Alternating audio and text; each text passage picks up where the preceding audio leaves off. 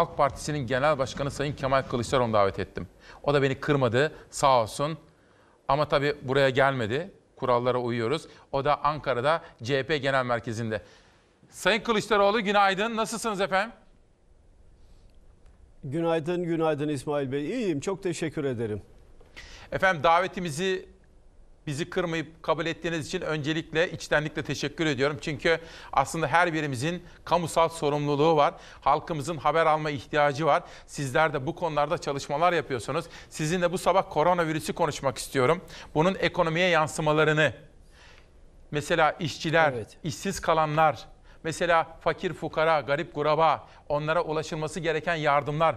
Bu konularda neler düşünüyorsunuz? Neler talimat veriyorsunuz belediye başkanlarına? Bunları konuşmak istiyorum.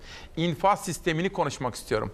Benim tutuklu gazeteci arkadaşlarım var. Onlar neden kapsam dışında kalacak? Bunları konuşmak istiyorum. Yani efendim size sormak istediğim pek çok soru var. Ama önce siz bakan pek çok kişiyle de konuşuyorsunuz. Sağlık Bakanlığı'yla da konuşuyorsunuz.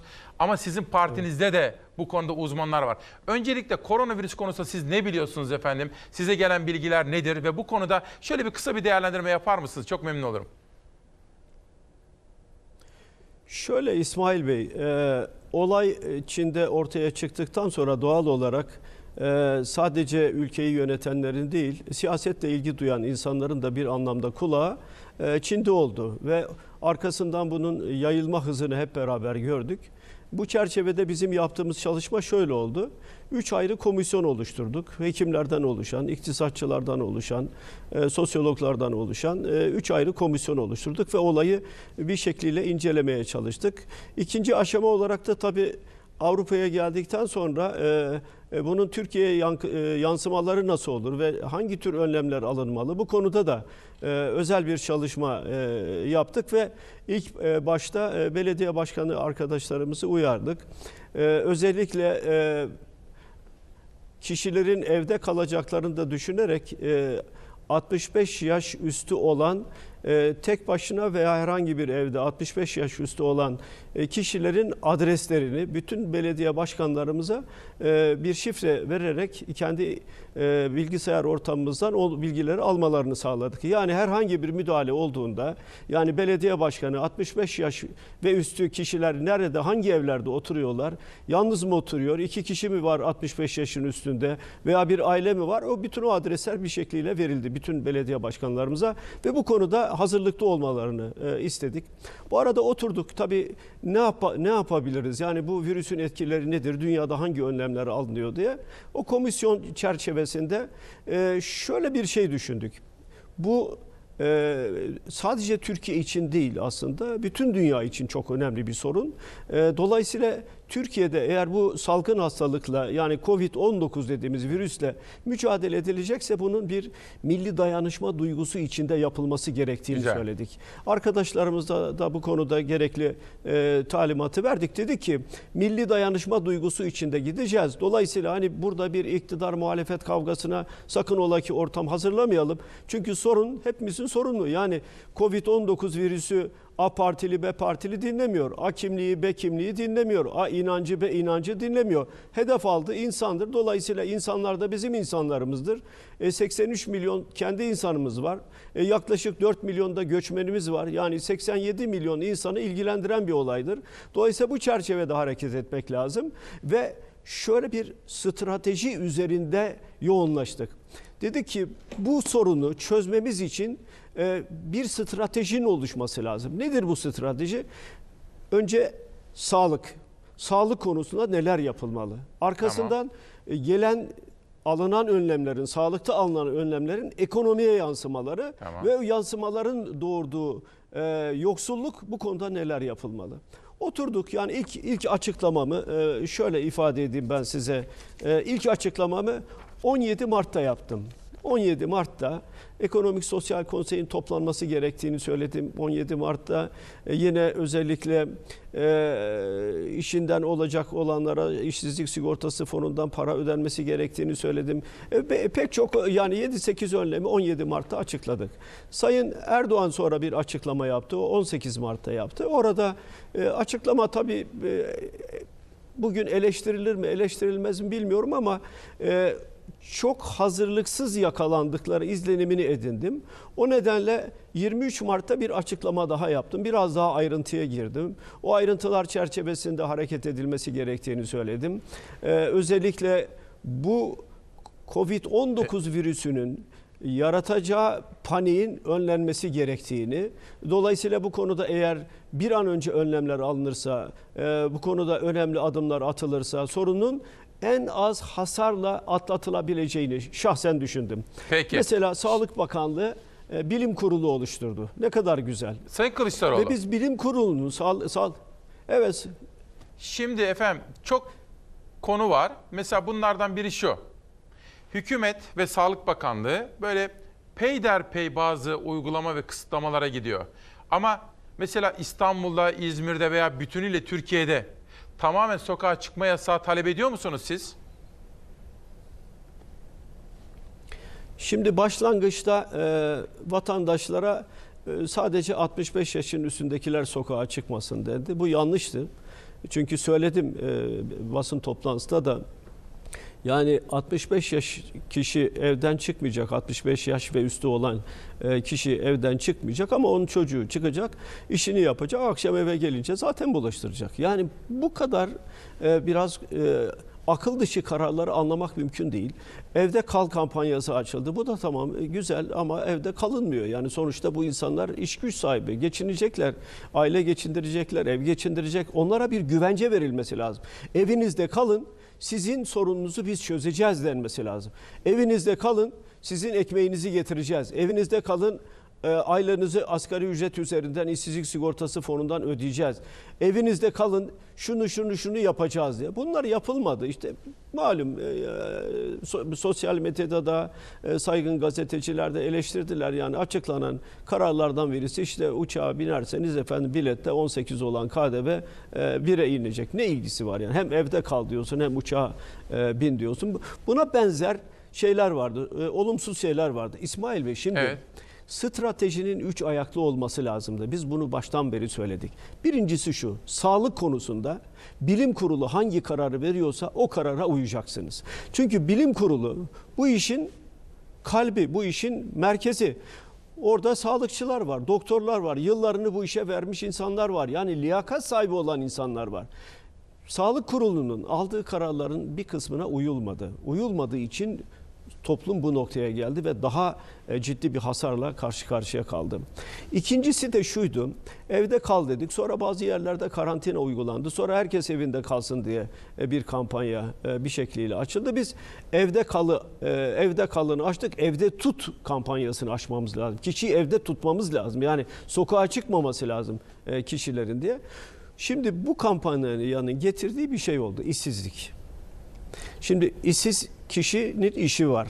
Kahvehaneyi kapattınız, pastaneyi kapattınız, kuaför salonunu kapattınız ve e, çok sayıda kişi işsiz kaldı. Bakın ben size bir örnek vereceğim. Lütfen. E, İsmail Bey. Evet. Sadece sadece bakın kapatılan iş yeri Cumhurbaşkanlığı kararı veya bakanların aldığı kararla kapatılan iş yeri sayısı 144.690. Bakın bunlardan bazılarını veriyorum. Ne size. zaman efendim bu? Ne Berber, zaman? kuaför. Bu ev evde kalın. Yani sokağa çıkmayın e, uygulaması getirildikten sonra, Peki. yasağa getirildikten sonra, otobüslere az binin dendikten sonra bu iş yerlerin de Cumhurbaşkanı kararıyla kapatıldı. Yani Tamam. bu iş yerler kapanacak dedi. Herkes evine çekilsin. 144.690 iş yeri kapandı. Bakın şimdi berber, kuaför, güzellik salonu. Bu dükkan kapandığı için 504 bin kişi işsiz kaldı. 504 bin kişi evinde. Herhangi bir geliri yok. Motorlu kurye çalışanları var. Hepimiz biliyoruz Evet. özellikle büyük kentlerde. Bunların sayıları 982 bin kişi. Ama bunların 500 bini işsiz, diğerleri şu anda hala çalışıyorlar, servis yapıyorlar, gidiyor. AVM'lerdeki işsiz sayısı 523 bin kişi. Kahvehaneler kapandı Türkiye genelinde. 259 bin kişi işsiz kaldı. Bunlar gündelikli çalışanlardır. Gündelik o gün kahveden elde edilen gelir veriliyor. Kahvenin sahibi tarafından veriliyor. Akşam eve giderken ekmeğini, yiyeceğini falan götürüyor. Kantinler, okul kantinleri, okullar kapandı, kantinler kapandı, yurtlarda, üniversitelerde, okullarda 150 bin kişi işsiz kaldı. Lokanta, restoran, kafe bunlar da kapandı. 1 milyon 900 bin kişi evine çekildi ve bunlar da işsiz. Okul servis araçları, okullar kapandığı için servis araçları da Ne öneriyorsunuz e, Sayın çalışmıyor. Kılıçdaroğlu? 360 bin efendim Ne öneriyorsunuz efendim? Bunlar için ne öneriyorsunuz? Şimdi bunlar için şu, şunu söyledik biz en baştan. Dedik ki bunlar eve gidiyorlar doğru. Evet. Onlara şu güvence verilmeli. Sizin en azından 3 ay, 3 ay ya da bu iş e, sona erdikten sonra da tekrar işbaşı yapacaksınız. Dükkanlarınızı açacaksınız. Burada çalışan işçilerin aylığını asgari ücret üzerinden ben ödeyeceğim. Nereden? İşsizlik e, fonu kaynağından. İşsizlik sigortası fonu. İşsizlik sigortası fonunda 131 milyar lira para var. 131 milyar lira. Şimdi baktığınız zaman gündelikçi ev kadınları var mesela. Bunların sayısı 1 milyon. Ya bunlar evini geçindiriyor temizlik yaparak şurada burada vesaire. Şimdi bunlarla ilgili önlem alın dedik. Bakın bunlarla ilgili hiçbir önlem yok. Alınan önlemler nedir İsmail Bey? Onu Nedir? da söyleyeyim kısaca. Evet.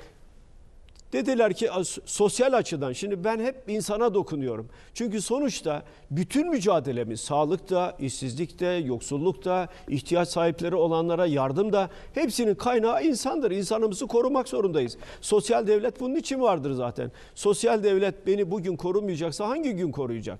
Dolayısıyla biz kendilerine söyledik bunu yapın diye, şunu yapın diye her birisini tek tek öneri olarak da verdik. İşsizlik sigortası fonunda para var, bu parayı ödeyin. Artık kahvehane mesela.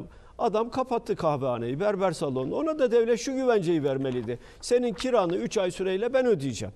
Zaten dükkan sahibi ise bir sorun yok ama kiranı ödeyemeyecek durumda olursan çünkü gelir elde edemiyorsun. Senin 3 ay kiranı ben ödeyeceğim. Dolayısıyla kişi evine rahat kapanabilirdi. Peki. Benim işçimin e, aylığını asgari ücret üzerinden sosyal devlet ödüyor. Zaten sigortalıydı, zaten prim yatırıyordu. Benim kiramı da sosyal devlet ödeyecek. Ben herhangi bir sorunla karşılaşmayacağım. Sayın Kılıçdaroğlu. Bunlar yapılmadı. Yani bunlar yapılabilseydi çok daha güzel bir tablo ortaya çıkacaktı. Peki. Sayın Kılıçdaroğlu şimdi geçen hafta buraya İsmail Küçükkaya Demokrasi Meydanı'na Arzu Çerkezoğlu geldi. Disk Başkanı. Dün de Türk İş Başkanı, Hak İş Başkanı bunların da açıklamaları vardı ve siz de zaten dün onlarla böyle Facebook üzerinden yani görüntülü bir video konferans gerçekleştirdiniz. Bugün elimde Yetkin Report'ta okuduğum Arzu Çerkezoğlu'nun bir yazısı var. Altı madde öneriyor. Evet. İşten çıkarmalar yasaklanmalı bu süreçte. İşten çıkarmalar yasaklanmalı. Zorunlu mal ve hizmet üretimi dışında çalışmalar durdurulmalı. Tüm çalışanların gelirleri güvence altına alınmalı. Şimdi efendim siz dün sendika konfederasyon liderleriyle konuştunuz. Arkadaşlarım kısa bir video hazırladılar. Onu bir izleyelim. Sonra onlarla ne konuştunuz işçiler için onu size soracağım. Ortak hareket etmek e, en azından emeğiyle geçinenlerin, alın teriyle geçinenlerin haklarını savunmak sizin göreviniz. E, bu konuda bir birlik sağlamanız da e, Türkiye içinde, demokrasi içinde çok değerli. Aynı geminin içindeyiz. Geminin lüks kamerası yok. Gemi battığı zaman lüks kamerası da gidecek, hepsi gidecek.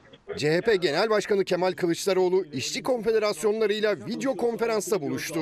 Kılıçdaroğlu koronavirüs bahanesiyle işten çıkarılmalara karşı ortak bildiri yayınlayan DİSK, Türk İş ve Hak İş temsilcilerine destek verdi. E, işten çıkarmanın bir şekliyle sınırlanması gerekiyor. Bu süreçte hiç kimsenin işinden aşından olmaması lazım. Bu bağlamda biz de size her türlü desteği veriyoruz. Bugün insanlar arasındaki bir ayrım yapmadan bütün herkese eşit bir şekilde taşınması gerektiğini düşünüyorum. Ana muhalefet lideriyle işçi temsilcileri bu süreçte atılacak adımları ele aldı. Çözüm önerilerini sıraladı. Kılıçdaroğlu sistemi rahatlatmak için işsizlik sigortası fonuna adres gösterdi. Ama bu süreçte sigortalı mıydı, sigortasız mıydı diye bir ayrım yapmaksızın herkesin bir gelir güvencesine kavuşması lazım. E, Bu konuda da işsizlik sigortası fonunun harekete geçirilmesi lazım. zorunlu olmayan alanlarda işin durdurulması ve buradaki işçilerin e, gelirinin devlet tarafından güvence altına alınması son derece önemli. E, Zaten bu e, Covid-19'da kişinin siyasi görüşüne, partine, kimliğine, inancına bakmıyor yani. O zaman ortak hareket etmek lazım. Bazı sendikaların işçi çıkarılmaması için işverenle protokol yaptığına dikkat çeken Kılıçdaroğlu iktidara çağrıda bulundu. Ekonomik, sosyal konseyi toplayın dedi. CHP Genel Başkanı Suriyelileri de unutmadı. Sorunlu yaşayanlarla sorunlu çözecek olanların bir araya gelmesi lazım. Bu bugüne kadar gerçekleşmedi ama inşallah bundan sonra gerçekleşir. 3 milyon 600 bin de Suriyeli var. E onlardan da bu hastalığa yakalanan var. Onların da hakkı var. Onlar da insan. Onların da hakkını bir şekliyle savunmak zorundayız. CHP lideri Kılıçdaroğlu canlı yayınımızda. Sayın Kılıçdaroğlu ne konuştunuz efendim? Biraz detay verir misiniz? Mesela işten çıkarma olmasın bunları konuştunuz mu? Ee, İsmail Bey, e, daha önce ben e, e, TOP e, Başkanı'na, Türkiye Odalar Borsalar Birliği Başkanı'na, TÜSİAD Başkanı'na, MÜSİAD Başkanı'na ve e, TESK'in e, sayın başkanlarına e, çağrıda bulundum. Dedim ki e, sizler kendi üyelerinize çağrıda bulunun. E, bu süreç içinde iş yeri kapanan var, işsiz olan var. E, bir şekliyle iş yeri kapananlar hiç kimse e, işçisini çıkarmasın bu süre içinde. En azından e, onlara bu güvenceyi versinler diye bir çağrıda bulunmuştum. Bir sendika e, oturdu bir işveren e, sendikasıyla bir sözleşme yaptı ve kimsenin işten çıkarılamayacağına dair e, bir güvence verdi. Bu güzel bir şey. Aslında bunun Türkiye genelinde yaygınlaşması lazım. Şimdi İsmail Bey Evet. sorunun özünde yatan şu. Şimdi sorunu oturup belli bir strateji üzerine oturtursanız yani nasıl çözeceğinize yönelik bir strateji oluşturursanız o sorunu rahatlıkla çözersiniz. Adım adım ve kararlılıkla gidersiniz. Nedir strateji? Sağlıktı. Kime verdiniz? Sağlık çalışanlarına. Kim var orada? Bilim kurulu var. Bilim kurulunda kim var? Doktorlar var. Bu konuda hazırlık yapılmış mı? Yapılmış. Eksiği var, yanlışı var. Şu ayrı bir şey ama bir adım atılmış. İkincisi ne? İşsiz kalanlar. Bunlarla ilgili bir şey yapılmış mı? Hayır.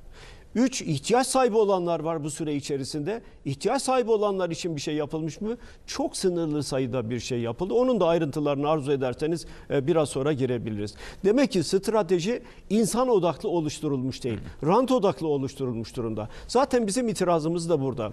Şimdi bu sorun nasıl ele alınmalıydı? Sağlık Bakanlığı sağlık bölümünü aldı. Ekonomik açıdan, sosyal açıdan nerede ele alınması lazım? Ekonomik ve Sosyal Konsey. Adı üstünde. Ekonomik, Sosyal Konsey. Nasıl bir kurul bu? Anayasal bir kurul. En son ne zaman toplanmış? 5 Şubat 2009. Hangi yıldayız? 2020 yılda. 2020 yılında. 11 Neden yıl toplanmıyor? Ben çağrı yaptım. Sayın e, Erdoğan'a da çağrı yaptım. Ekonomik Sosyal Konseyi bir an önce toplayın. Neden Ekonomik Sosyal Konseyi? Çünkü Sağlık bölümünü Sağlık Bakanlığı, Ekonomik ve sosyal bölümünü de ekonomik ve sosyal konseyin çözmesi lazım. Öneri getirmesi lazım. Ne demek ekonomik sosyal konsey? Orada işçi temsilcileri var, işveren temsilcileri var, çiftçi temsilcileri var, sağlık temsilcileri var. Yani sivil toplumun hemen hemen her kesimi bir şekliyle var. Orada ne oluşuyor? Bir devlet aklı oluşuyor. Ne demek bu devlet aklı? Sorunu yaşayanlar var, sorunu çözecek olanlar var. İkisi karşılıklı oturuyorlar. İşveren, işçi, çiftçi, emekli diyor ki benim şu süreçte ben şu sorunlarla karşılaştım. Dolayısıyla sorunu yaşayandan dinliyor, öbür taraftan da sorunu çözecek olanlardan notlarını alıyorlar ve o çerçevede soruna çözüm üretmeye çalışıyorlar. Bunu söyledim. Sanki ben söylemişim diye Hayır efendim biz bunu toplamayacağız. Niçin toplamıyorsunuz? Bakın e, Çankaya'da bir toplantı yapıldı. Türk Tabipler Birliği orada yok. Türk Eczacılar Birliği orada yok. Türkiye Ziraat Odalar Birliği orada yok. Niçin yok? Ya bunlar sorun yaşamıyor mu? En ciddi sorunu yaşıyorlar. Bakın bunu ne yaptılar sonunda? Dediler ki biz ihtiyaç sahibi olanlara yardım edeceğiz. Gayet güzel, gayet güzel. Ne kadar para ayırdılar? 2 milyar lira. 2 milyar lira 2 milyon 111 bin aileye biner lira verilecek. Ve bir sefer verilecek. Başka yok zaten para. Başka ne yaptılar? Efendim en düşük emekli aile 1500 lira olacak dediler. Halbuki daha önce diyorlardı ki 1500 liranın altında emekli aylığı yok. Benim de dilimde tüy bitti ya yapmayın etmeyin 1500 liranın altında dünya kadar aylık alanlar var diye. Neyse o da güzel hiç itirazımız yok bakın buna da itirazımız yok. Üçüncüsü de bayramda ödenecek emekli aylığını erken aldılar.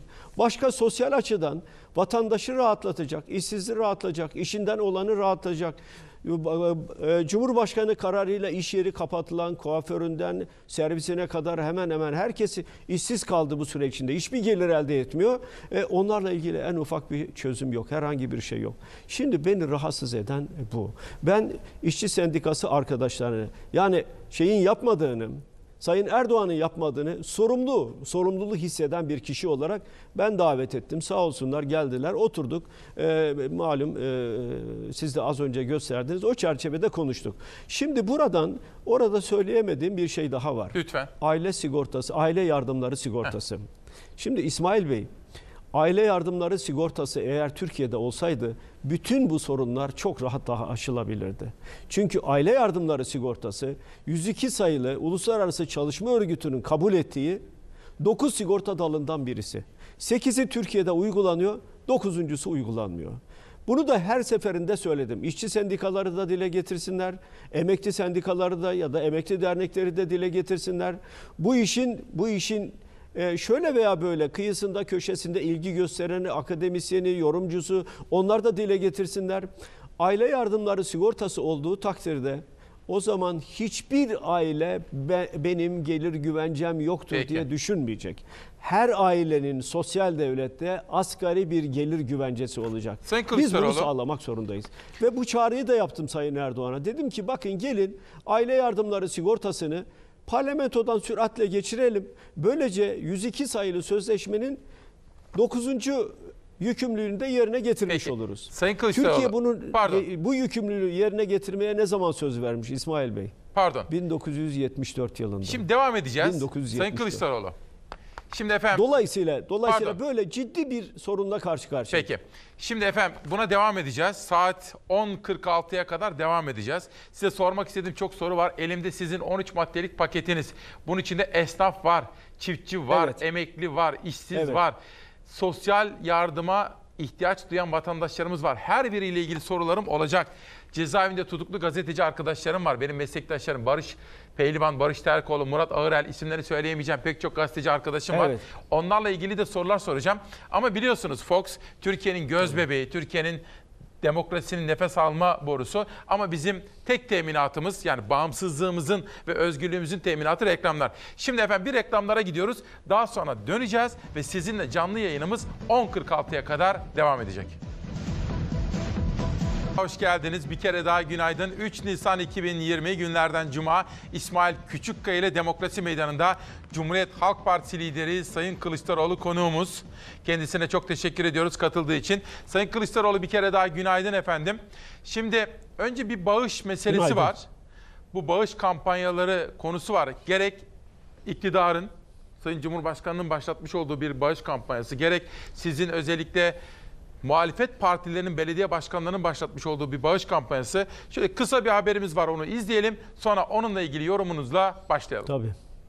Dayanışma yerine ayrışma peşinde olanlara izin vermeyeceğiz. Kendilerini Türkiye Cumhuriyeti Devleti'nin dışında ve üstünde görenlere milletimiz de hak ettiği cevabı veriyor, verecektir. Belediyeler devletin kendisidir. Devletin bir kurumudur. E, akıl tutulması, siyaset insanların beynini sulandırmış. Cumhurbaşkanı Erdoğan iki gün önce devlet içinde devlet ifadesiyle suçlamıştı. Yardım kampanyası başlatan CHP'li 11 Büyükşehir Belediye Başkanı'nı dün de AK Partili belediye başkanlarına hitap ederken yine gündemindeydi, yine sözleri sertti. İstanbul Büyükşehir Belediye Başkanı Ekrem İmamoğlu da sert konuştu. Milyonlarca insanın işsiz kaldığı, gelir kaybına uğradığı bir dönemde devletin kurumlarının kendi yasal haklarını kullanarak yardım e, verme konusunda bağış toplamasının ya kime zarar var Allah aşkına soruyorum. 83 milyonun kader ortaklığını sembolize eden bir projeyi dinamitleyemeye çalışmak açık söylüyorum. Gafletten öte bir davranıştır. Biz Cumhurbaşkanı'nın başlattığı kampanyadan sonra bir kampanya başlatmış olsaydık bu abesle iştigal olurdu dedi. Kimse hukukun ve kanunların üstünde değildir. Bunu günlük siyasetin malzemesi haline dönüştürmeye hiç kimsenin hakkı yoktur. Siyasi rant hesabı yapanları maşeri vicdan asla unutmayacaktır. Cumhurbaşkanı Erdoğan ihtiyaç sahipleri için başlattıkları kampanyaları bloke edilen 11 CHP'li Büyükşehir Belediye Başkanı'na öfkesini bu sözlerle dile getirdi. Ama AK Partili belediye başkanlarına talimatı dikkat çekti. işsiz kaldığı veya yetersiz gelire sahip olduğu için geçim sıkıntısı yaşayan vatandaşlarımızı asla yalnız bırakmamalıyız. Evinde tencere kaynamadığı için gözü yaşlı, kalbi kırık, yüreği daralmış her vatandaşımızın vebali sizlerin üzerindedir. Korona ile mücadele bitene kadar AK Parti rozetinizi çıkarın. Milletimiz göz boyamaya çalışanla halis niyetle hizmet edenin ayrımını böyle dönemlerde daha iyi yapar. Bu işte devletin nefesi yetebilir. Ama yerel yönetimlerin nefesi ne kadar yeter bilmiyorum. İçini boşalttığınız kasasını tam takır ettiğiniz devletin nefesi bu işe yetmez. Devlet halktan para toplamaz, halka para enjekte eder. Muhalefet Erdoğan'ın kampanya başlatmasına da tepkili. O kampanyaya iş adamlarının yaptığı bağışların vergiden muaf tutulmasına da CHP kanun teklifi verdi. Koronavirüsüne mahsus olmak üzere bu bağışların vergi matrahından düşürülmesinin önüne geçmeyi hedefliyoruz.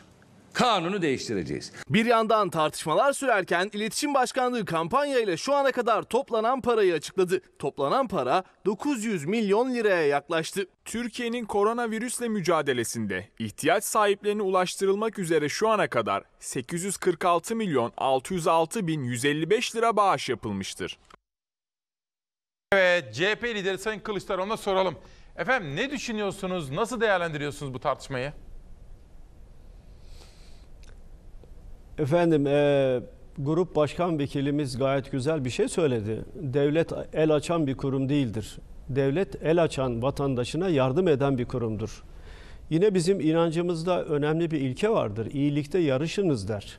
İyilikte yarışmak varken neden iyilik yapan yapmak isteyenleri iyilik yapmaktan men ediyorsunuz? Bunu anlamak da mümkün değildir. Az önce Ekrem Bey söyledi. Biz Sayın Erdoğan'ın e, açtığı bağış kampanyasından çok önce zaten bizim belediyelerimiz çalışıyorlardı. Bizim belediyelerimiz bugün binlerce kişiye nakit yardımı yaptılar. On binlerce kişiye gıda yardımı yaptılar, aynı yardımı yaptılar. Doğal elektriklerini açtılar. Doğalgazı doğalgaz konusunda elektrik ve doğalgaz konusunda ilgili firmalara yazılar yazdılar. Onları uyardılar. Açınız bunları diye. E yine e, kapanan sular vardı. Bütün o kapanan e, suların e, iş yerlerinde veya evlerde kapanan suların tekrar borç, borç nedeniyle suların açılmasını sağladılar. Biz bütün bunların hepsini yaptık. Belediye Bakın şimdi e, şunu anlamakta gerçekten zorlanıyorum e, İsmail Bey. Nedir efendim? Anlamakta zorlandığım konu şu. Şimdi yardım kanunu ayrı, belediye kanunu ayrı. Yardım kanununa göre gideceksiniz, izin isteyeceksiniz valilikten. Doğrudur. Kimse buna itiraz etmiyor. Ama belediyelerin hizmetleri var ve belediye gelirlerinden birisi de bağışlardır. Kanunda yazıyor bunu. Ben ben söylemiyorum. Belediye gelirleri kanunda 5393 sayılı kanun. Bunun 15. maddesinde borç almak, bağış kabul etmek diyor. Belediye birisi gelip ben bağış vermek istiyorum dediği zaman belediye başkanı bunu kabul eder. Niçin kabul etmesin? Belediye hizmet kuruluşudur. Okulda yapar, yurtta yapar, fakire yardımda yapar, aşevi de açar, onlara nakit yardımı verir. Efendim e, belli kişilere daha farklı sosyal avantajlar sağlar. Bu belediyenin görevidir. Her belde başkanı, her belde başkanı kendi belediyesinin sınırları içinde mutlu insanları görmek ister. Huzurlu insanları görmek ister. Bizim bütün belediye başkanlarımız daha seçimlerin başında dediler ki taahhüt ettiler. Hiçbir çocuk yatağa aç girmeyecek. E şimdi biz bunu taahhüt ediyoruz. Bunu yapmak istiyoruz. Efendim bağış alamasın. Bakınız bunu sadece CHP'li belediyeler için söylüyor aslında. Mesela AK Partili belediyeler de bağış alıyorlar. Üstelik bu yasaklamadan sonra bir AK Parti belediyenin iş adamlarına yazı yazdığını, bir iş adamları derneğine bize bağış yapın dediğini yanlış mı yapıyor? Hayır doğru yapıyor. AK Partili belediye başkanları da doğru yapıyorlar. Birisi gelip yardım yapmak istiyorsa Şimdi vatandaş diyelim ki ben çok varlıklıyım e, İsmail Bey. Evet. Yardım yapacağım ama yardımı koli hazırlayacağım 100 tane koli. Ama kimler yoksul bilmiyorum. Açarım 153'ü belediye başkanlığına diyorum ki 100 koli yardımı yapacağım. Bizim belediyeler şunu yapıyorlar. Gelen bağışı alıyorlar. ihtiyaç sahiplerine gönderiyorlar veya veriyorlar veya evlerinde teslim ediyorlar. O ihtiyaç sahiplerine diyorlar ki size bağışı şu kişi yaptı. O ihtiyaç sahiplerinin listesini de bağışı yapan kişiye bildiriyorlar. Bu kadar şeffaf bir düzenleme Peki yapıyoruz. şimdi bir ne olacak Sayın biz. Kılıçdaroğlu? Şimdi Dolayısıyla merkezi iktidar bir bloke etti hesapları da. Fakat siz de bir talimat vermişsiniz belediye başkanlarına. Geçen gün buraya davet ettiğim belediye başkanları onu söylediler. Dediler ki Sayın Genel Başkan bize talimat verdi. En önemli işiniz gıdaları ve diğer yardımları ihtiyaç sahiplerine ulaştırmak. Peki nasıl yapacaklar bundan sonra? Nasıl talimat verdiniz? Yine yapacaklar. Yine yapacaklar. İş dünyasından son derece saygın insanlar var. Yoksullara yardım yapmak istiyorlar. Getirecekler, paketleri verecekler. Veya belediye o paketleri oradan alacak, yoksullara dağıtacak. Yoksullara dağıtırken de şu kişinin e, size e, e, yardım amacıyla verdikleri kolilerdir denecek. Belediye burada aracılık yapacak. Yani kaldı ki başka bir şey daha var. Belediye gelirlerinde yine 59. madde var. Belediye gelirleri arasında bağışlar sayılmış. Bakın yardım değil. Bağışlar sayılmış zaten. Yapılan tamamen nedir biliyor musunuz İsmail Bey? Nedir? CHP'li belediyeler yardım yapmasın. Elini kolunu bağlayalım şunu yapsın. e, başarısız olsunlar. Buradan bütün vatandaşlarıma sesleniyorum. Hangi engeli getirirlerse getirsinler bizim belediye başkanlarımız iyilikte yarışacaklardır. Hiçbir çocuk kendi beldelerinde yatağa aç girmeyeceklerdir. Gerekirse bütün masrafları keseceklerdir. Hatta gerekirse belediye başkanlığı başkanı aylığını dahi bu işe ayıracaktır. Bu konuda çok açık, çok net bir tavrımız var Peki. bizim. Şimdi bir yaşanan soru. salgın, yaşanan salgın çok e, çok derin bir salgın. Peki. Sayın Kılıçdaroğlu şimdi bu elimdeki sizin 14 maddelik öneriler paketinizde çiftçi var, esnaf var, fakir fukara var. En fazla sorulan soru şu. Devletimizin kaynağı var mı? Var mı efendim?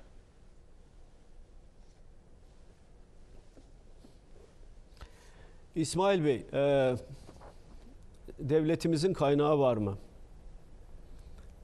Şimdi az önce söyledim. Devasa bir Türkiye Cumhuriyeti devletim. Görkemli bir Türkiye Cumhuriyeti devletim. Temelinde Milli Kurtuluş Savaşı olan bir Türkiye Cumhuriyeti devletim. İlk kuruluşundan günümüze kadar başarılı bir çizgi izlemek için liyakatli kadrolar yetiştiren bir Türkiye Cumhuriyeti devletim. Bugün yeteri kadar kaynağımız var mı? Hayır yok. Üzülerek ifade edeyim yok. Bağış kampanyası açılmasının nedeni de bu zaten. Yani CHP'li belediyelere vermeyin, sadece bize verin, biz bu yardımı yapacağız. Kaç lira toplandı az önce açıkladınız.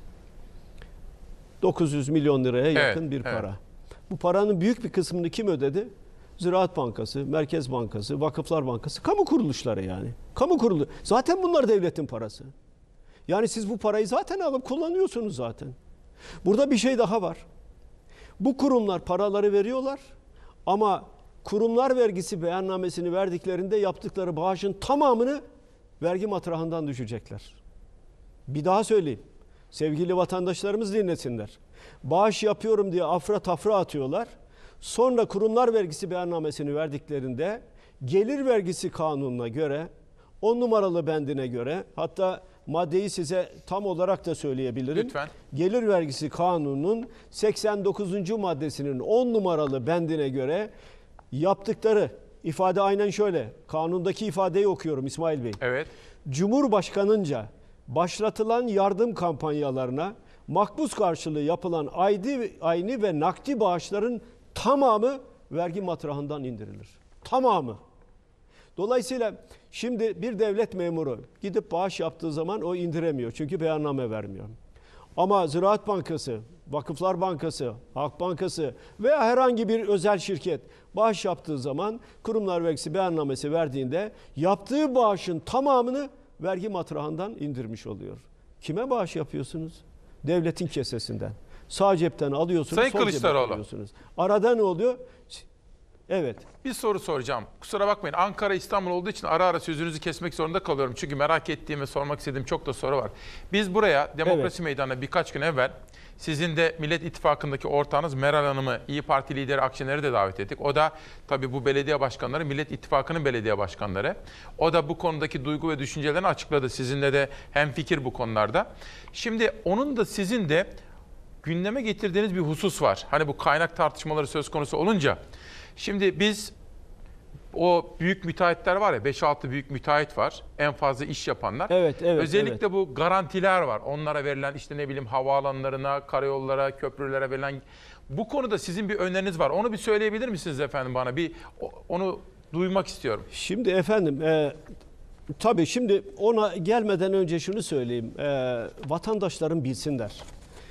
Bakın İsmail Bey. Evet. Türkiye Cumhuriyeti Devleti kurulduğundan 2002 yılına kadar yani 79 yılda bütün hükümetlerin rahmetli Demirel'den tutun Özal'a, Atatürk'e, İnönü'ye e, bütün Cumhuriyet hükümetlerinin 79 yılda harcadıkları para, vergi, borç vesaire özelleştirme 713 milyar dolar. 79 yılda 713 milyar dolar para harcadılar. Karakaya Barajı'nı yaptılar, Atatürk Barajı'nı yaptılar, Keban Barajı'nı yaptılar, fabrikalar yaptılar, otoyolları yaptılar. Bütün bunlar ne yaparken 713 milyar dolar para harcadılar. AK Parti hükümetleri döneminde yani son 17 yılda, son 17 yılda harcanan para, borçlanma, vergiler, özelleştirmelerle harcanan para 713 milyar dolar değil, 79 yılda kullanılan para değil. 2 trilyon 346 milyar dolar. 79 yılda harcanan paranın 3,5 katı para harcandı. Ve bugün devletin kasası alarm veriyor. Şimdi gelelim sizin önemli sorununuza Evet. gelelim. Şimdi Sayın Erdoğan dedi ki fedakarlık yapma dönemidir. Doğru haklı. Fedakarlık yapma dönemi. Buna itiraz etmiyorum çünkü Tamam.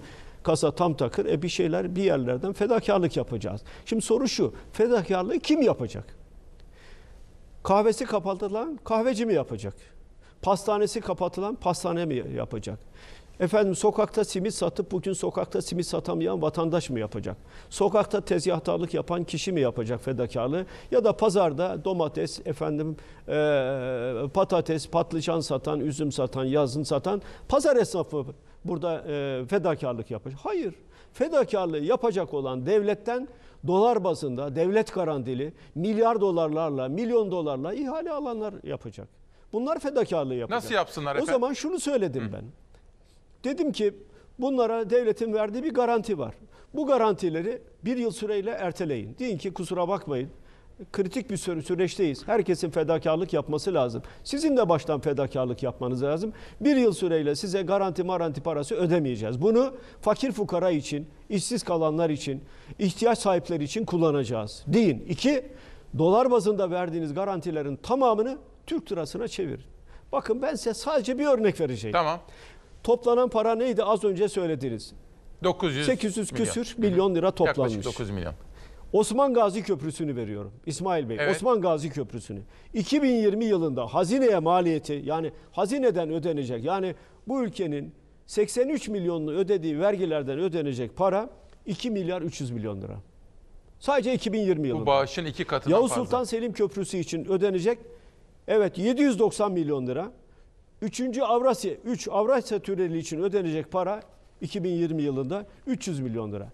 Üçü için sadece üçü bakın Peki. diğerlerini katmıyorum. Şehir hastanelerini vesaire katmıyorum. Sadece bu üçü için 2020 yılında devletin hazineden ödeyeceği para 3 milyar 400 milyon lira. Şimdi bu anlaşıldı. Bir soru Otoyolları sormak da isterim. katarsanız bunun içine. Sayın Kılıçdaroğlu. Şimdi bugün Aydınlık Gazetesi'nde, bugün ben size farklı gazetelerde manşetler soracağım. Aydınlık Gazetesi'nde ki biliyorsunuz hükümeti pek çok konuda destekleyen bir gruptur. Doğu Perinçek. Şimdi tek çare para basmak Evet. diyor. İşçiyi, işsizi, çiftçiyi, esnafı, sanayiciyi rahatlatalım diyor. Şimdi böyle bir öneriyle çıkmış. Siz Cumhuriyet Halk Partisi'nin genel başkanı olarak ki uzun yıllar ekonomi bürokrasisinde görev yaptınız, SGK'da görev yaptınız. Bu öneriye nasıl bakarsınız efendim? Zaten e, onun dışında başka bir çare kalmadı e, İsmail Bey. Öyle mi?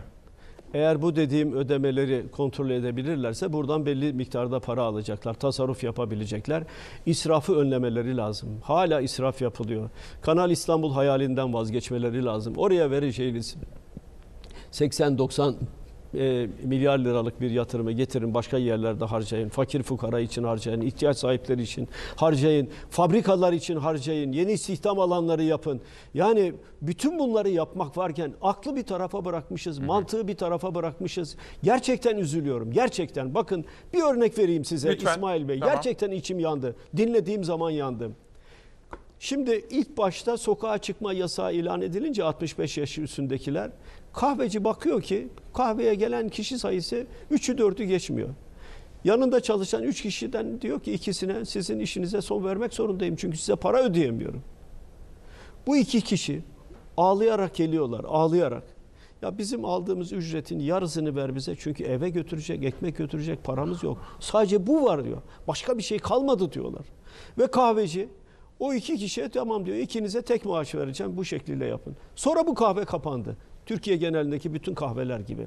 Şimdi bu insanlık dramını sonlandırmak için adım atacakken hala devlet garantisiyle devletten milyarlarca lira parayı alan kişilere siz hiçbir tasarruf yapmayın. Herhangi bir fedakarlığa katılmayın ama nasıl olsa devlet memurları var. Onların maaşından keseceğim. Hakimler var. Yargıtay Başkanı da genelge çıkardı. Onun onların da maaşından alacağım. Öğretmenler var. Onların da maaşından alacağım. E, vergileri toplayacağım zaten. E size bu parayı vereceğim. Ne kalıyor geriye? Para basmak kalıyor. Peki, bir soru. Eğer kontrolü yapmazsanız o da felaket olur. Peki. Çok teşekkür ederim. Şimdi efendim dün İsmail Küçükkale Demokrasi Meydanı'nda esnafların liderini davet ettik biz. Burada onunla konuştuk. TESK, Türkiye Esnaf Sanatkar Konfederasyonları Başkanı Evet. Bendevi Palandöken'le. O da iktidara bir takım çağrılarda bulunuyordu. Çünkü esnaf dükkanını kapattı. Ne yapacak? Eve nasıl ekmek götürecek? Küçük bir haber hazırlattırdık. Onu izleyelim. Sonra esnafla devam edelim olur mu?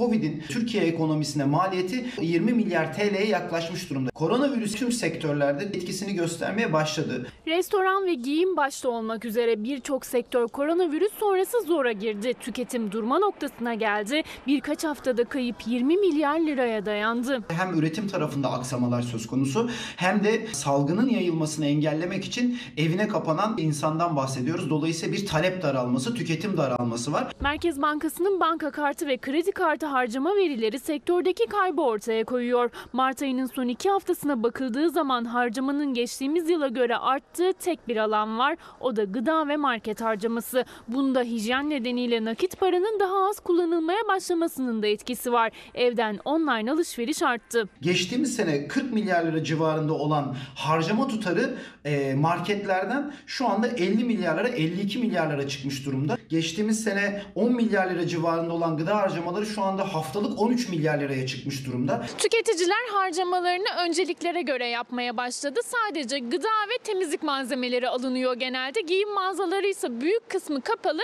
Sadece birkaç tanesi açık büyük caddelerde. Ona da gelen giden müşteri yok. Hazır giyim, aksesuar tüketimi geçtiğimiz sene bu dönem 9 milyar lirayken bir anda çok sert bir şekilde düşüyor ve 5 milyar liraya geriliyor. Müşteri olmadığı için restoranların büyük kısmı kapalı. Açık olanlarsa sadece paket servisi hizmeti veriyor ama insanlar dışarıdan yemek yemeye çekindiği için yemekler genelde evde pişiyor. Restoranların kaybını resmi veriler de ortaya koyuyor. Restoran, kafe gibi yerlerde ciro kaybı çok büyük. Restoranların kapanmasının yaklaşık haftalık maliyeti 10 milyar liraya çıkmış durumda. Kayıp bununla da sınırlı değil çünkü esnafın cirosu düştüğünde çalışanı da işsiz kalıyor, ekonomik kayıp büyüyor. 20 milyar lira ekonomik büyüklük ortadan kalktığında iş kaybı demek aslında e, emek kaybı demek. Ekonomi uzmanlarına göre tüketim yeniden canlanana kadar esnafa somut destekler şart. Küçük esnafa, restoran sahibine, mağaza sahibine hükümetin önümüzdeki dönemde 3 ay, 4 ay idare edecek şekilde nakit desteği vermesi, borç desteği değil, nakit desteği vermesi çok önemli. En azından buralarda çalışan ve işsiz kalan ya da ücretsiz izne ayrılan ya da firma sahiplerine kendilerini güvende hissedebilecekleri bir nakit desteğin hükümet tarafından kaynağı bulunarak bir an evvel verilmesinin çok önemli olduğu kanaatindeyim. Evet, esnafın durumu böyle. CHP lideri Kılıçdaroğlu'na soracağız. Sayın Kılıçdaroğlu, şimdi elimde bugünkü Cumhuriyet Gazetesi var. Ve orada Kılıçdaroğlu telekonferans yoluyla Türk İş, Disk ve Hak İş başkanlarıyla görüştü. Kimse işten çıkartılmamalı dedi. Sizin sözleriniz bugün Cumhuriyet Gazetesi'nde böylesine bir manşet olarak yer almış. Esnafla ilgili manşetleri de sizlere aktardık. Peki efendim ne yapacağız? Bundan sonra nasıl bu salgın daha da devam edecek. Çünkü bunun ekonomiye yansımaları da öyle kolay kolay bitecek gibi değil. Bakın Amerika'da 10 milyon kişi işsizlik başvurusunda bulundu. İspanya bütün tarihinde olmadığı kadar işsizlik başvurusunda bulundu. E bundan sonra da bu iş böyle devam ederse ne yapacağız? Nasıl çıkacağız? İsmail Bey az önce söyledim. Eğer bir stratejiniz yoksa sorunu çözmek için bir stratejiniz yoksa başarı sağlayamazsınız. Strateji neydi? Strateji şuydu. Önce sağlık, önlemler alınacak, yasaklar getirilecek. Bilim kurulunun söylediği kurallara uyulacak. Bilim kurulunun, Erdoğan'ın değil. Erdoğan'ın söylediğine uyarsanız bugünkü tablo çıkıyor. Ama bilim kurulu ta en baştan şunları şunları şunları yapın dedi. Maalesef onların büyük bir kısmı yapılmadı. Zaten sorun oradan. İki, iş yerlerini kapattınız ama orada çalışan işçiler için hiçbir önlem almadınız. Dükkanı kapatılan, kiralık dükkanı kapatılan esnaf için bir şey almadınız. Onun kredi kartı var. Tüketici kredisi borcu var. Onun için hiçbir şey yapmadınız. Esnaf bakın az önce e, değerli bir bilim insanı esnaflarla ilgili bilgi verdi. Ben size şu bilgiyi vereyim. 1 milyon 753 bin 213 esnafımız var. Yani 1 milyon 800 bin civarında esnafımız var. Getirdikleri kural şuydu, önlem. Halk Bankası'ndan e, eğer esnaf kredi almışsa e, bunların e, kredileri belli bir süre yani faizleri, ana para ödemeleri belli bir süre erteleniyor. 3 ay yanlış hatırlamıyorsam erteleniyor. Kaç kişi oradan kredi aldı Halk Bankası'ndan? 264 bin esnaf. Kaç esnafımız vardı? 1 milyon 700 bin. Peki diğer esnaf için bir önlem alındı mı? Hayır. İş yeri kapanan esnaf için bir önlem alındı mı? Hayır. Orada çalışanlar için bir önlem alındı mı? Hayır. İsmail Bey daha farklı bir şey. Burada işte ise 264 bin esnafın diyelim ki kredi borcu yeniden yapılandırıldı. Evet. Çiftçi için ne yapıldı? Önümüzde bizi bekleyen en ciddi tehlikelerden birisi de bu. Gıda açığı. Bu konuda ne yapıldı? Sizin bir öneriniz Acaba var Ziraat efendim. Odaları Birliği Başkanı dinlendi mi? Çok özür. Sizin bir öneriniz var. 14 maddelik pakette çiftçilerin borçları yeniden yapılandırılarak bir yıl süreyle faizsiz ertelenmeli diyorsunuz siz. Evet. Çünkü çiftçinin devletten alacağı var. İsmail Bey. Evet. Tarım Kanun Tarım Kanunu 21. maddesine göre milli gelirin yüzde biri oranda en az yüzde biri oranda çiftçiye her yıl destek verilir. Hiçbir zaman yüzde biri oranda verilmedi. Çiftçinin devletten alacağı var. Çiftçinin Erdoğan'dan alacağı var. Ama o alacak ödenmediği gibi çiftçi şu anda borç batağında. Gerçekten samimi olarak söylüyorum borç batağında. E çiftçinin borçları da bir yıl süreyle faizsiz ertelensin, yeniden yapılandırılsın. Ne olacak yani? Herkes fedakarlığa kat, katlansın diyoruz. Çiftçinin, esnafın sorununu çözmek için az önce söyledim İsmail Bey. Evet. Bu devlet garantisi dolar bazında para alanların alacakları ertelenirse bu sorun büyük ölçüde çözülür. Bir en de şu azından bir yıl efendim. çiftçi de rahatlar, esnaf da rahatlar. Sayın Kılıçdaroğlu, şimdi en çok gelen mesaj bana günlerdir şu. İsmail Bey diyorlar, evde kal diyorsun. Tamam kalalım da. Bir, çalışmak zorundayız. Bakın en fazla gelen mesaj bu, çalışmak zorunda. İnşaatlarda, karayolu, tünel inşaatlarında çalışanlar, fabrikalarda, atölyelerde, kargo şirketlerinde, PTT'de şurada burada çalışanlar, itfaiye çalışanları, polisimiz, zabıta bunlar. Bir, bu bir kere önemli bir husus. Bir de elektrik, su, doğalgaz faturası. Şöyle sorsam size efendim. Siz bugün Türkiye'yi yöneten kişi olsanız ve böyle bir salgınla karşı karşıya kalsak elektrik, su, doğalgaz faturası konusunda ne yapabilirsiniz? Elektrik, doğalgaz faturalarını askıya alırım. Şimdi bakın biz e, suyu kesilen aboneler dahil olmak üzere herkesin suyunu açtık. Bizim belediyeler bunu yaptı. Sayın Erdoğan belediye başkanlarıyla konuşurken de "E, olur mu doğalgaz, elektrik kesilir mi dedi. Peki ben merak ediyorum. Hangi doğalgaz şirketi e, gerekli önlemleri aldı veya vatandaşı koruma yönünde ben bu süre içinde almayacağım, fatura düzenlemeyeceğim dedi.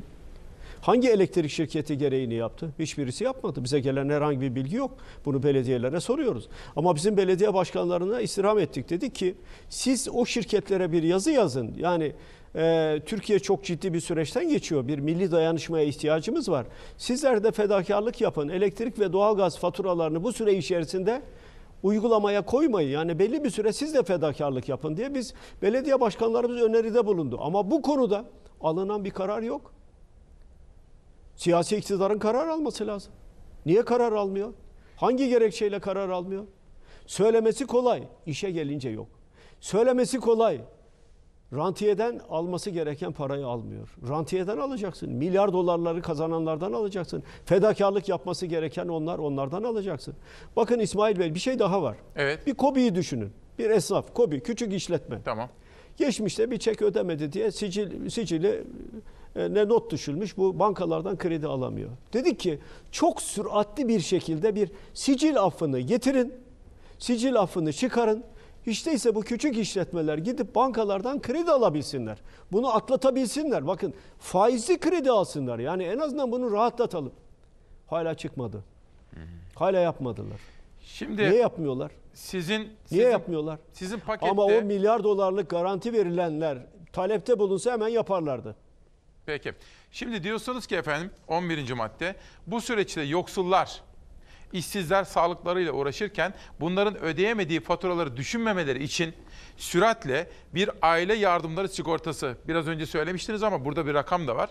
Aile yardımları sigortası yasası çıkarılmalı ve her yoksul aileye en az 2000 liralık gelir güvencesi sağlanmalı. Yani her ay ikişer bin lira mı verilmesini öneriyorsunuz? Her ay aile yardımları sigortası çıktığı zaman her ay 2000 lira yok ihtiyaç sahibi aile yoksul Tamam. da demeyelim. İhtiyaç sahibi ailelere her ay 2000 lira gelir güvencesi vermeli. Sosyal devlet dediğiniz budur. Bakın ben Fransa'yı gayet iyi biliyorum. Evet. Orada bir süre kaldım. Fransa'da gelir düzeyiniz ne olursa olsun sizin çocuğunuzun süt parasını sizin banka hesabınıza gönderiyorlar. Eğer pek çok ülkede her aileye geliri ne olursa olsun asgari gelir güven 2000 dolar vereceğim diyor. 1000 dolar vereceğim Kanada diyor. 2000 dedi 100, efendim diyor. e, 1000 e, avro vereceğim diyor. 500 avro vereceğim diyor. Bunlar gelir güvencesi. Ne, nasıl yapıyorlar bunu? Aile yardımları sigortasıyla. Niçin aile yardımları sigortası var? Neden olması lazım? Çünkü sağ elin verdiğini sol el görmeyecek. Çünkü yoksulluk yani ihtiyaç sahibi olan aile istismar edilmeyecek. Siyaseten istismar edilmeyecek. Peki. Bizim partili, A partili, B partili diye bir ayrım yapılmayacak. Kişi diyecek ki ben aç, aç ve açıkta kalmayacağım. Çocuğum da aç ve açıkta kalmayacak. Bizim asgari bir gelir güvencemiz var. İşimiz yok, işimiz bittiyse e, devlet aile yardımları sigortası tıpkı işsizlikte olduğu gibi aile yardımları sigortasında da bu yoksul aileler, ihtiyaç Peki. sahibi aileler bir gelir güvencesine kazan Sayın e, kavuşmuş olacaklar. Buradan de- şunu da söyleyeyim. Buyurun. İhtiyaç sahibi aile veya yoksul aile bir prim ödemeyecek. Yani sigorta primi ödemeyecek. Onu da bilmelerini isterim. Peki. Çünkü bu sigorta dalının özünde primi varlıklı kesil- kişi- kişilerden, kesimlerden alıyorsunuz. Fox Haber muhabirleri İşkur'un önüne gittiler Sayın Kılıçdaroğlu. O manzarayı şimdi size bir sormak istiyorum. Hazırsa hazır mı Savaş? İzleyelim. Ayın 20'sinde işime son verildi. Ayın o süreçten bu sürece kadar işsizim. Bir anda bir telefon geldi. İş hakkınız fes olmuştur diye. Bir şey diyemedim. Nutkum durdu. 31 Mart'a kadar işim vardı. Bir anda işsiz kaldık. Daha sonra daha önceden bize şu günü işsiz kalacağınız diye bir şey yok. Ertesi gün yine dönecek gibi çıktıkları iş yerleri yerine Ankara İşkur kapısındalar. Korona salgın nedeniyle işsiz kalanlar. Bir aydır bu koronavirüsten dolayı işten çıkartıldık. 27 aydır bir yerde çalışıyordum aynı şirkette. Ee, bu virüs dolayısıyla 31 Mart itibariyle işimize son verildi. Salgın sonrası iş yerleri bir bir kepenk kapattı. Olansa çalışanlar oldu. Hepsi işsiz kaldılar. Onlar için artık tek bir adres var. İşkur kapısı. Özel sektör ilanları da şu anda zaten mevcut değil. İşçi çıkarımı söz konusu olduğu için. O özel sektör 2019 yılında olduğu gibi 2020 yılında da artı iki istihdam sözü vermişti ama artık iş ilanı vermiyor. Bak hedef artı iki istihdam. İşkurda çözüm yok. Sadece prosedür gereği buraya başvuruyorsunuz. Ama şu anda yönlendirebileceğimiz bir ilan yok sistemde. Ben şu anda buraya gelmem için arkadaşımla dolmuş parası aldım geldim. Evim kira. Elektriğim, suyum. Allah yardım etsin. Ben Allah'tan yardım istiyorum. İşkur kapısında sıra uzayıp gidiyor ama kurum bugünlerde iş arayanlara umut veremiyor. Sadece işsizlik maaşı başvurularını kabul edebiliyor. Özel yerlerde zaten malum kısa çalışma Ha, aynen. işçi çıkardığı için Tamam. iş alımları da ona göre durdurulmuş. Tamam.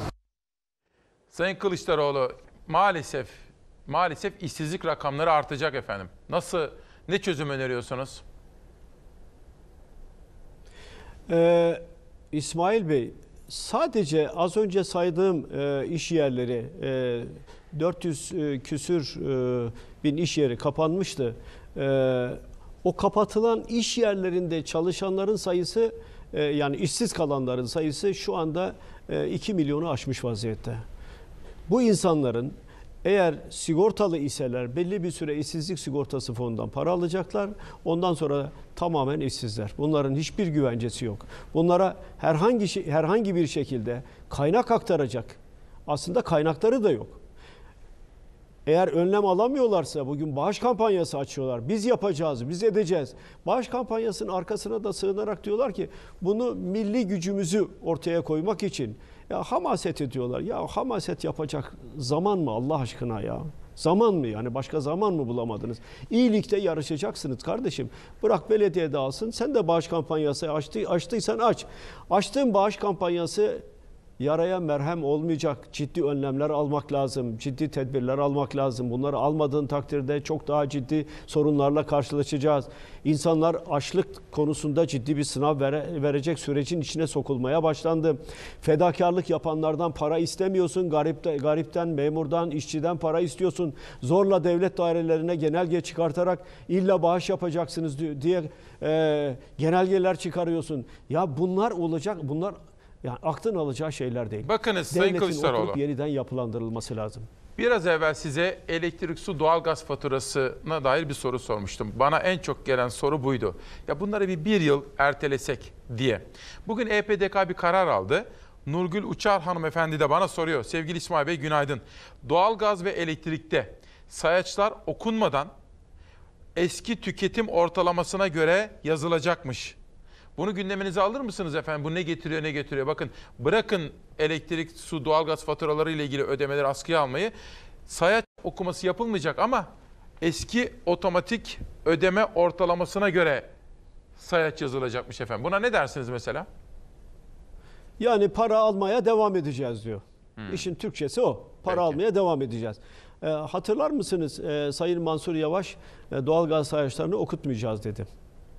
Okutmayacağız deyince de tabii parayı nasıl alacaklar? O zaman geriye dönecekler. Geçmişte ne kadar ayda ne kadar ödüyorsa aynı miktarda parayı almaya devam edecekler. Yani hiçbir fedakarlığa katlanmayacaklar. Elektrik üretip satanlar da e, doğalgaz e, e, vatandaşa doğalgazı bağlayanlar da herhangi bir şeye yükümlülüğün altına girmeyecekler. Ama bunlar şunu yapabiliyorlar. Eğer Erdoğan talimat verirse çocuklarının e, üyesi olduğu vakıflara dünyanın parasını verebiliyorlar. Amerika'daki gökdelenin inşası için 22 milyon dolar para verildi. 22 milyon dolar. 22 milyon doları kim verdi? 22 milyon dolar veren kişi o parayı oradan çekip getirse, geri alsa parasını ve Türkiye Vakfı da evet ya Türkiye ciddi bir sınavla karşı karşıya. Bir sürü yoksul insan var, bir sürü işsiz insan var. O 22 milyon doları biz geri alalım, getirelim. Erdoğan'ın bağış kampanyasına verelim. 22 milyon dolar da Amerika'dan gelmiş olsun. Siz o biliyor musunuz efendim buraya kim olduğunu? Buraya e, ver.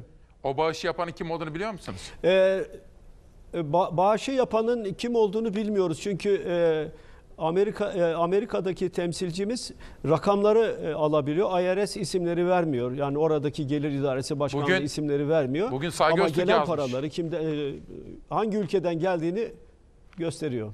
Saygı Öztürk bugün yazmış efendim 54 milyon dolarlık bir bağış toplam. Sizin ifade ettiğiniz gibi 22 milyon dolarlık bir bağış yapılmış. Bir de toplam 54 milyona çıkmış. Bu arada efendim şimdi Sabah gazetesi de bugün gün birlik, beraberlik ve kardeşlik günü manşetiyle çıkmış. Erdoğan'dan belediye başkanlarına koronavirüste mücadele mesajı. Bakın Sayın Erdoğan da tabii korona nedeniyle bir önlem alıp bu şekilde video konferans aracılığıyla konuşmuştu. Ne dersiniz? Gün birlik, beraberlik ve kardeşlik günü. Sayın Cumhurbaşkanı sözlerine ne dersiniz? E doğrudur. E, gün e, birlik, beraberlik, kardeşlik günüdür. Biz zaten öyle yapıyoruz. Zaten o çerçevede hareket ediyoruz. Bütün önerilerimizi o çerçevede yaptık. Fedakarlık dönemidir dedik. Fedakarlık yapması gerekenlerin fedakarlık yapması gerekir dedik. El birliği, işbirliği yapılması gerekir dedik. Merkezi hükümetle yerel yönetimlerin işbirliği yapması lazım. Yerel yönetimler e, kendi beldelerini çok daha iyi tanıyorlar. Bunları kalkıp da suçlamak yok. Paralel devlet diye suçlamak kadar abes bir şey yok. Ne paralel devleti kardeşim ya nereden çıkardın? Belediye başkanı zaten Ankara'nın dışına çıkmaz ki. Efendim Kızılcahamam Belediye Başkanı Ankara'ya müdahale etmez. Çankaya veya Keçiören'e müdahale etmez. Kızıl, Kızılcahamam'da bakacak. Yoksul varsa yardım edecek. Birisi getirip ya ben 10 koli hazırladım bunu götür fakirlere dağıt dese alacak fakirlere dağıtacak. Yani bu belediyelerin zaten görevidir. Bunu yapmak zorundadırlar. Yasalar bunu öngörüyor. Dolayısıyla birlik ve beraberlik varken toplumu geriş, e, kutuplaştırmak, ayrıştırmak, yok merkezi hükümet, yok yerel yönetim, yok sen para toplama, parayı ben toplayacağım, yok sen bağ- sana bağış kimse yapmasın, senin banka hesaplarına el koydum.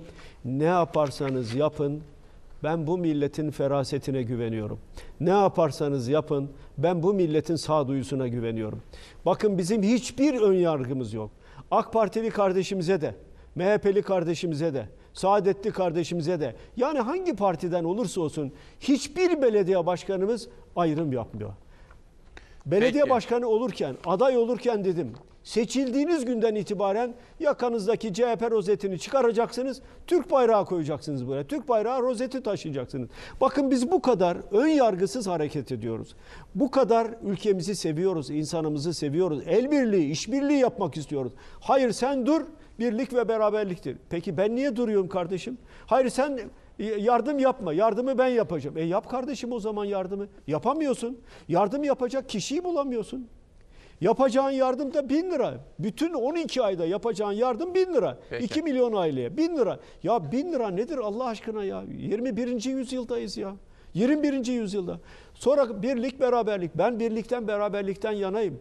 Bu salgının yani Covid-19 virüsünün yarattığı salgının en az hasarla e, atlatılmasını istiyorum. O kadar çok hata yaptılar ki o kadar çok. Bunları saymıyorum. Yani bugün bunlar sayılacak Peki. e, durumda değil. Yani o ortamda değil. Ama bizim hep beraber işbirliği yapmamız lazım. Bakın fedakarlık diyorlar. En açık, en net fedakarlık yapacak grubu söyledim. Devletten milyarlarca dolar ihale alanların, dolar bazında garanti alanların, en azından yap. Alacağı parayı bir yıl ertele kardeşim. Ben paradan vazgeç demiyorum. Bir yıl ertele. Bakın bunlardan hiç ses çıkmıyor. Ziraat Bankası yardım ederim diyor. Merkez Bankası yardım ederim diyor. Vakıflar Bankası yardım ederim diyor. E siz niye yardım etmiyorsunuz kardeşim? Biz de bir yıl alacağımızdan vazgeçiyoruz deyin. Milyarlarca dolar para aldınız ya. Bir yıl vazgeçin. Ne olacak yani? Ben bir yıl vazgeçin de demiyorum. Bir yıl erteleyin diyorum. Peki Erteleyin. Kemal Bey bir o de parayı alın, ihtiyaç sahiplerine Anladım. kullanın. Sayın Kılıçdaroğlu bir de şöyle bir mesele var. Şimdi biz sağlık çalışanlarına teşekkür ediyoruz. Alkış tutuyoruz. Onlara ne dersiniz efendim? Onlar için ne öneriyorsunuz? Efendim sa- sağlık çalışanları İsmail Bey. Evet. Aslında e, günümüzün kahramanlarıdır. Aslında onlar her zaman kahramandı. Onlar her zaman canımızı emanet ettiğimiz, sağlığımızı emanet ettiğimiz kahramanlardı. Hasta bakıcısından tutun, hastaneyi temizleyen işçiden tutun, doktoruna kadar, rektörüne kadar, e, ana bilim dalı başkanına kadar hepsine şükran borçluyor. Sonuçta Doktorlar, sağlık bizim hayatımızın vazgeçilmez bir alanıdır ve bu alan içinde görev yapan herkese de saygı duymamız lazım. Bu süreç içinde en büyük yükü çeken, en büyük sıkıntıyı çekenler onlardır. Bunlara en azından maddi olarak bazı avantajların sağlanması gerekir dedik. O sağlandı doğru. Ama bir şey daha var e, İsmail Bey. E, o da çok önemli aslında. Sağlıkta şiddetin önlenmesi gerektiğini hemen hemen her ortamda, her yerde hekimler, sağlık çalışanları dile getirdiler. Sağlıkta şiddet sonucu hayatını kaybeden, öldürülen doktorlar var. Dolayısıyla dedim ki ben Erdoğan'a çağrı yaptım. Ya alkışlıyoruz doktorlara, alkışlıyoruz sağlık çalışanları. Ya bunların bir talebi var. Sağlıkta şiddeti önlemek için bir yasal düzenleme. Tek cümlelik bir yasal düzenleme. Getirelim bunu parlamentodan oy birliğiyle çıkaralım. Siz getirin biz getirmeyelim. Siz yapın biz yapmayalım. Biz el kaldıralım hep beraber parlamentodan. 600 milletvekilinin oy birliğiyle çıksın. Böylece sağlık çalışanlarına gerçekten parlamentonun saygı duyduğu o zaman çıkmış olur ortaya. Bunu söyledik. Bu da karşımızda bir duvar var. Peki. Ondan sonra hep beraber birlik, beraber kardeşlik edebiyatı var. Sayın Kılıçdaroğlu bir soru daha. Şimdi bugün Abdülkadir Selvi yazmış, sizin kurmaylarınızla da konuşmuş. Dün Ciner grubunun internet sitesinde Muharrem Sarıkaya da yazmıştı, hala duruyor şimdi.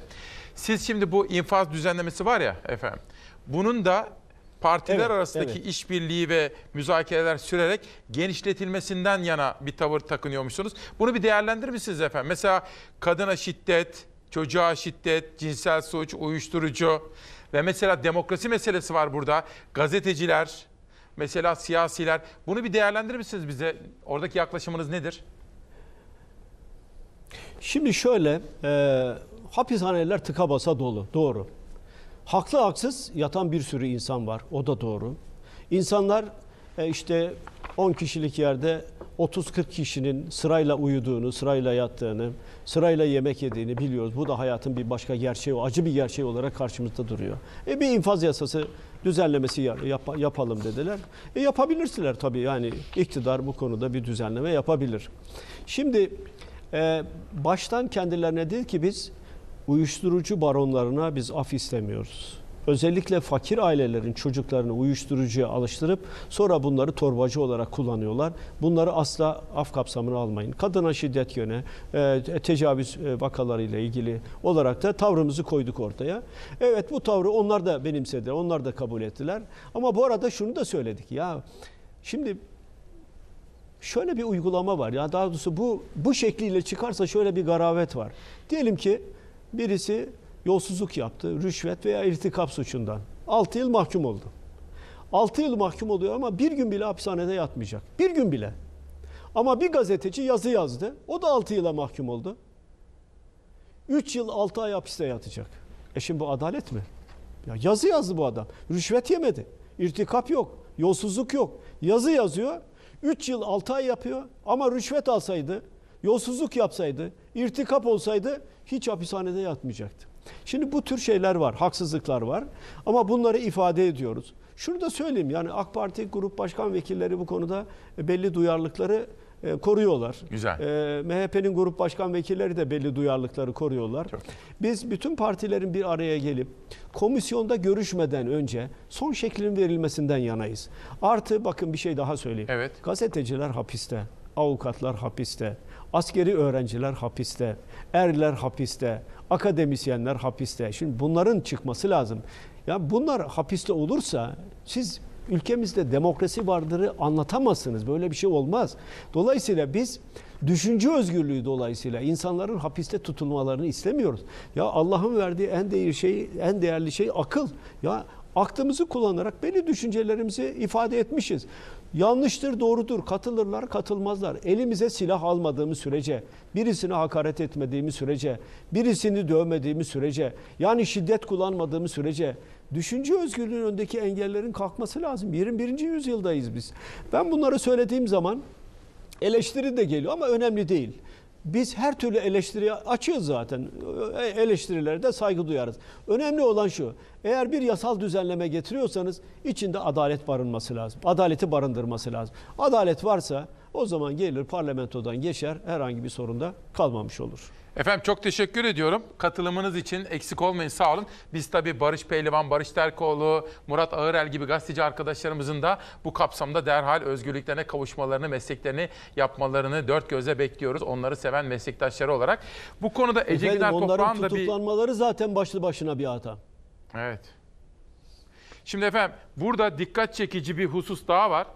Daha evvel mesela biz gazetecilerin benim de başımda olduğu için söylüyorum. aldığımız cezalarda yatarı olmayan bazı cezalar vardı. Avukat Ece Güner Toprak dikkat çekiyor buna efendim. Tweet atmış şimdi bakın. Diyor ki TCK 299 301 216. Kurmaylarınıza bir talimat verip araştırırsınız efendim. Bugüne kadar yatarı olmayan bu maddelerle ilgili bundan böyle aynı olayda biz ceza alırsak yatarı olur hale geliyormuş. Yani burada da gizli ya da ihmali olan bir husus var. Efendim çok teşekkür ediyorum. Son bir sözünüzü alarak size de katılımınız için çok teşekkür ediyorum. Son söz sizin. Buyurun. Son söz efendim. Biz vatandaşlarımıza şunu söylüyoruz. Bütün vatandaşlarıma hangi partiden, hangi görüşten, hangi kimlikten, hangi yaşam tarzından olursa olsun adalet istiyoruz. Fedakarlıkta da adalet istiyoruz. Yoksulun adalet fedakarlık yapacak hali yok.